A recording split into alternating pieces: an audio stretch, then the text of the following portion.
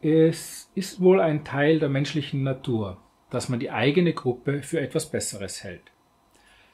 Nicht mehr so ganz besonders weiße Linke bekämpfen bei anderen Weißen diese Grundhaltung, da sie ja besser sind als alle anderen, aber im Großen und Ganzen die eigene Gruppe ist besser.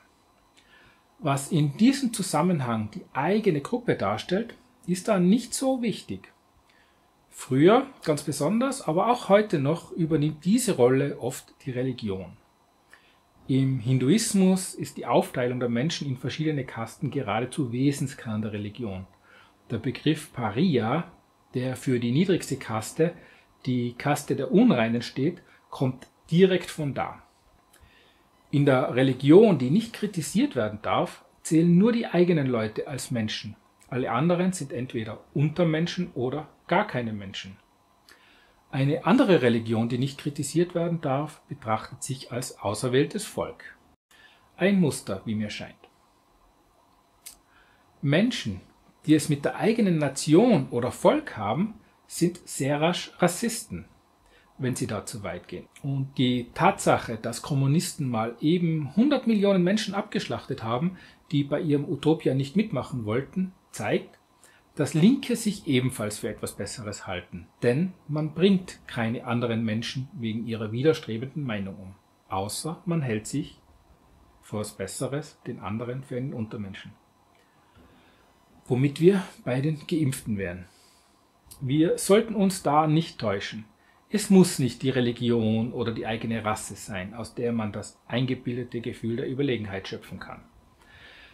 Der Staat das heißt, die Politik betreibt gerade ganz großes Framing und Hetze gegen ungeimpfte. Im Wesentlichen mit der Behauptung, sich nicht impfen zu lassen sei unsolidarisch. Darauf gehe ich inhaltlich im nächsten Video ein. Hier geht es nur darum aufzuzeigen, dass mit dem SARS-CoV-Virus wieder diese Herrenmenschen gegen Untermenschenschiene aufgelegt wurde und viele Menschen dieser Versuchung nicht widerstehen können. Gunnar Heinsohn hat bereits wunderbar aufgezeigt, wie Krieg und Massenmord entsteht. Im Wesentlichen dort, wo die Geburtenrate zu hoch ist. Dort werden unweigerlich Gruppen entstehen, die sich für etwas Besseres halten. Diese Gruppen suchen sich dann andere, kleinere Gruppen aus, die dann an allen Problemen schuld sind und bringen sie dann um. Und wiederholen das dann so lange, bis die überzähligen Menschen alle tot sind und die Überlebenden ein Auskommen und eine Zukunft haben. In Österreich ist die Geburtenrate niedrig. Es ist also nicht damit zu rechnen, dass die ungeimpften alle umgebracht werden. Wäre es gerade 1921 statt 2021, sehe die Sache ganz anders aus.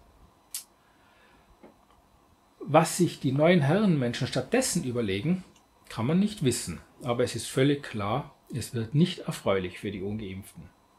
Und natürlich gilt die alte Weisheit, teile und herrsche. Der Staat, die Politik wird da also tunlichst nichts dagegen unternehmen. Diesen Leuten kommt die Spaltung der Gesellschaft gerade recht. Von der Exekutive kann man sich ohnehin nichts erwarten, ob es darum geht, Strafzettel zu verteilen oder Leute zum Folterverhör abzuholen, die befolgen nur Befehle. Rein theoretisch wäre es nun die Aufgabe der Justiz, hier korrigierend einzugreifen. Wer mag Wetten abschließen, was die Huren der Fürsten machen? Außer ein paar Symbolurteilen nach Monaten oder Jahren, viel zu spät also und so gestaltet, dass sie den Menschen nichts nützen und die Rechte der Menschen in keiner Weise geschützt werden, wird da nichts kommen. Das ist meine Wette.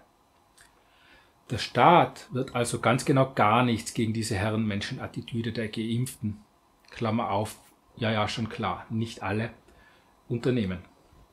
Noch gibt es allerdings viele Ungeimpfte und die unmittelbar Angehörigen halten sich zurück, aber man sieht bereits geimpfte Menschen, die vollständig von ebenfalls Geimpften umgeben sind und wie da der Hochmut und das Selbstverständnis, etwas Besseres zu sein, klar gezeigt wird. Und wie immer, wenn man sich selbst für einen Herrenmenschen hält, ist es wichtig, ja geradezu geboten, den Untermenschen ihren Untermenschenstatus aufzuzeigen. Der erste Schritt, und es wird nicht bei diesem bleiben, ist da 1G. Danke für deine Zeit.